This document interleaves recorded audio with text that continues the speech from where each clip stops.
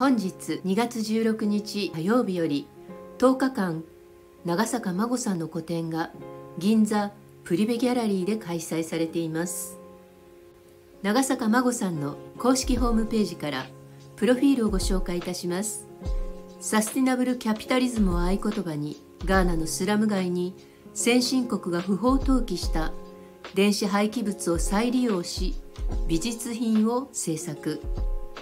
2017年にガーナのアグボグロシー地区にあるスラム街に単身初渡米。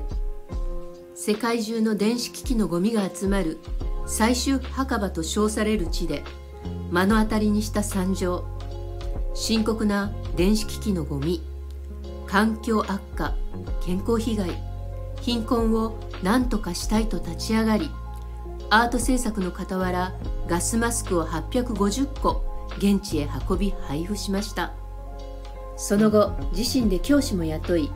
スラム街の子どもたちが無償で通える小学校を設立。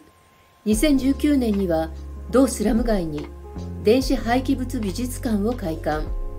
いずれこの地にリサイクル工場を建て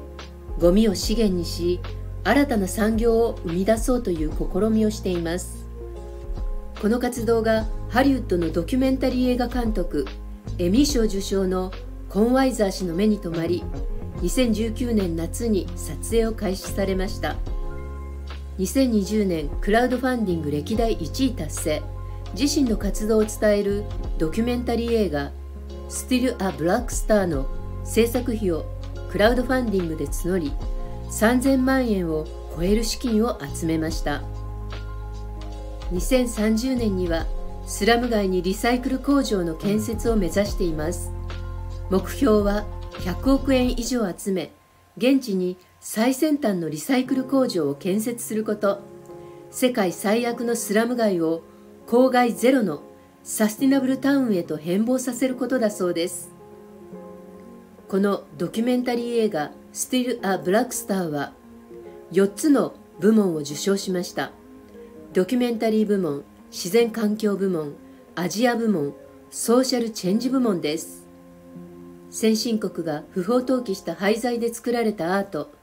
ガーナのスラム街を愛する美術家マゴさんの作品